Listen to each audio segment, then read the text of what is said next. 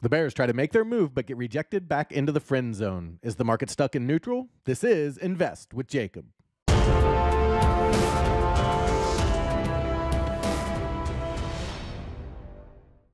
Okay, guys, so in yesterday's video, we talked about the fact that the Bears had a setup to take the market lower and they fell flat on their face and got rejected and put us back into the range. Now, the question is, how long will we be in this range? I'll get into that in just one second, but first, if you're new here, welcome to the show, guys. My name is Jacob Gabbard, and this is Invest with Jacob, where we use Elliott Wave Theory to break down the S&P 500 and the NASDAQ. I highly encourage you to hit that subscribe button down below so that you could get our daily S&P updates, our trade setups, and our buy alerts.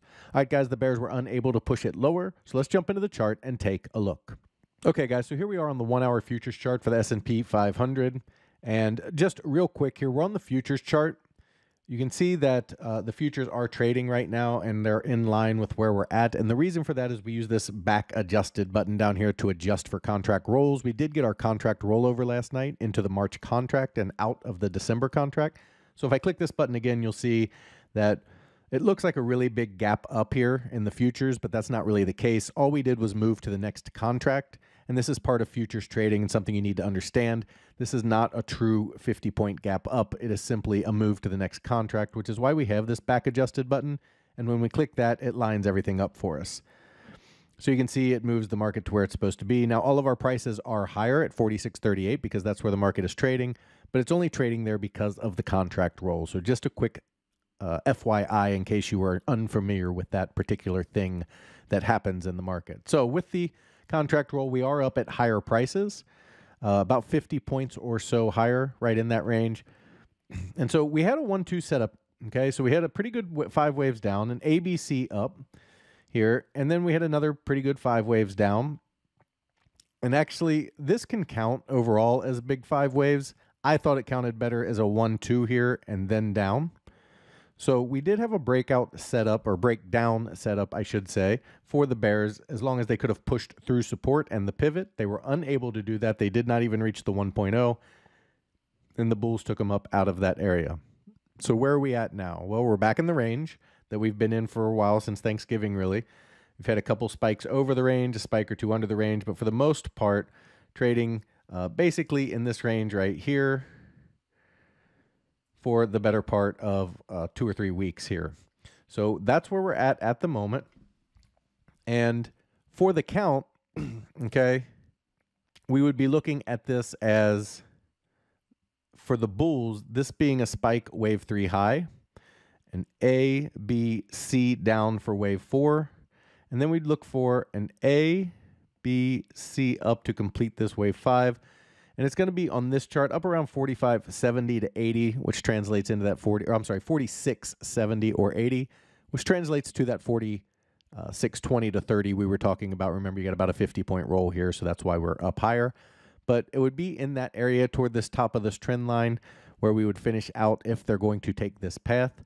So we look for this pullback here in a corrective manner that should hold the 0.5 to 0.618 and then take it higher up toward this 4670 to 80 area to complete this diagonal, and then we would look for a turn down from there. So that would be the bullish path that we'd be looking for. Now, on the bearish side, we still haven't taken out Wednesday's high, and until we do, you do still have a 1-2-1-2 setup. It's not my favorite setup. I will be very honest with you. This is a nice five down. I do like that. Then you got a wave two, but this one of three is pretty deep. It goes past the 764, and then this wave, two of three, is really high, almost back to the peak of Wednesday, and much higher than you would expect to see in a wave two. So a possible bear setup, but I wouldn't call it a probable bear setup. Now, if we do start to see an impulsive move down and they break through support, ultimately we have to break the low from uh, yesterday. If we can break that low, come down, break through, Okay, then 45 uh, 90 becomes the area to watch as the next support level. And then ultimately, our support moves up to 4550 at the bottom. Okay, so it's 4550 and 4590, um, the two levels to watch to break. If they can get through that and break through this trend line here and hold this trend line here, then the Bears still can take this down. Again, this is not my favorite setup. It is not something I am highly calling highly likely, but that be what we're that would be what we're looking at if the Bears were able to take this down. So overall, right now, I do think we're in a bullish setup with this being an A, B, C toward 4670 to 80, with the B wave coming down into that 4620 to 30 area, into this support for B, and then C up to give us that high, which would be an ending diagonal here, and then we'd look for a turnover and selling from there.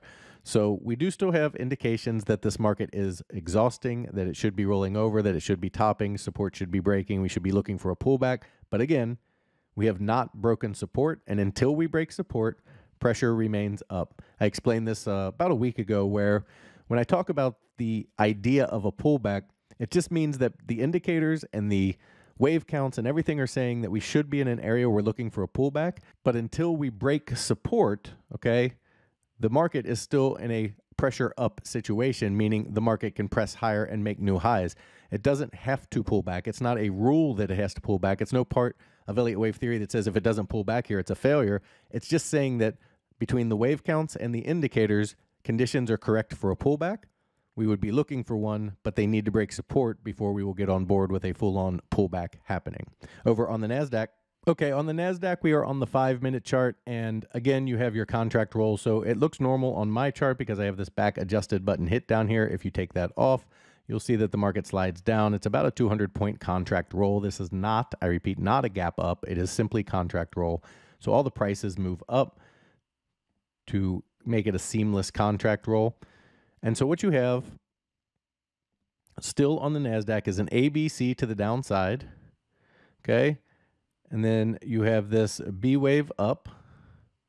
And as long as they stay under the 16300 level, pressure remains down on the NASDAQ. They did break support below the 15800 level. We'll call it 16,000 now because of the contract roll.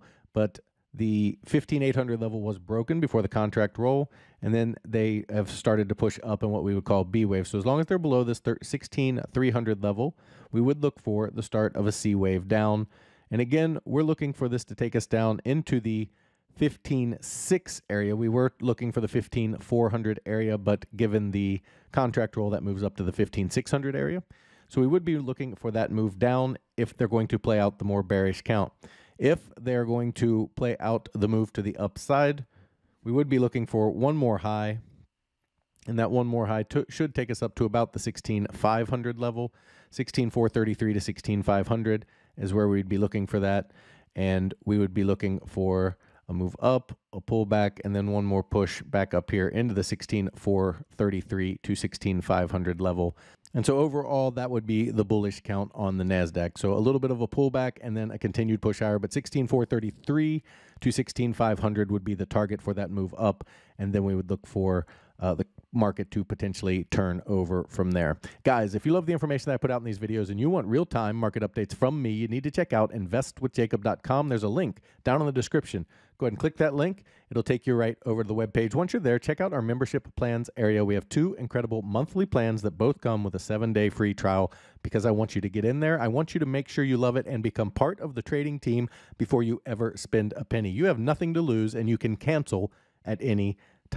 We also have our Elliott Wave for Beginners online course. This course is helping real traders make real money and understand a market in a way that makes sense. The market is irrational, it is emotional, and it doesn't make a lot of sense much of the time. When good news makes the market go down and bad news makes the market go up, it's very hard to understand why this happens. It's because news doesn't move the market, but sentiment does. And sentiment is measured by the moves and the fib levels. We give you the key numbers so you know where the market should hold and if it doesn't hold, what happens, and if it does hold, what happens, so that you're always prepared for the next move in the market. The really cool thing, guys, it's 25 videos in three sections where we go over an introduction so you can understand why Elliott Wave works, what your mindset needs to be, everything to get started, your chart setup and tools, where I go through each one of the tools you will need to use with Elliott Wave and how to use them. I go through your Elliott Wave for Beginners area, where we go through each of the waves, how they work, what they look like when they're on target, what they look like when they fail, how to get the numbers, how to measure them, the theory of alternation, the corrective zigzag, corrective depth theory, the pivot, everything you need to know to fully understand a market that doesn't make sense. Now, if you don't want to pay the $67, I completely understand. You can get this course for free if you become a monthly member. In our first room, the Invest with Jacob room, you get all of my real time market updates, all of my buy and sell alerts, all of your Elliott Wave questions answered, a midday video where I go over exactly where we are in the counts and what to expect, as well as the Elliott Wave for Beginners online course. We trade the SPY and the QQQ and we swing in day trade, so we trade quite often in my room. Now, if you're looking for futures trading, income trading, advanced training, and individual stocks, you need to check out PT's Throne Room. In there, you get everything you get in the Invest with Jacob room, as well as that futures trading, the income trading, the individual stocks, and PT's reduced risk binary method that just crushes the market. He gets you in at a cheap price and gets you huge multiples on your money. And it's how he structures his trades. It's so unique. Something you really have to see to understand. And that's another reason we give you that seven day free trial. He also started a challenge account where he put $4,000 into an account trading mini ES futures showing you how to build a small account into a large retirement or savings account. Guys, we'd love to have you in these rooms so we can all make money together. All right, key takeaways for today. Don't forget about the contract roll. Have your back adjusted button hit to make it easier. We are looking for a potential ABC pattern up toward the 46, 70 to 80 area to complete this wave five of this diagonal. One more push higher uh, in that market, and then a turnover from there. If the Bears can hold the high from yesterday and really hold the high from Wednesday, as long as they're under that high, they can take this lower. But given the length of this one of three and two of three, I just don't see that as a higher probability path at this time. Over on the NASDAQ, we could be completing this B wave here and starting a C wave down toward the 15600 area. They would need to break uh, Wednesday's low to get that in motion and break through that support area. You have support here and here. Break through that, and we're targeting 15600 or so to the downside. To the upside, we're looking at an ABC higher toward the 16433 to 16500 area to complete that move off of this low. Guys, it's the weekend. Grab yourself a drink, get out of the house, spend some time with your family, and I will talk to you next week.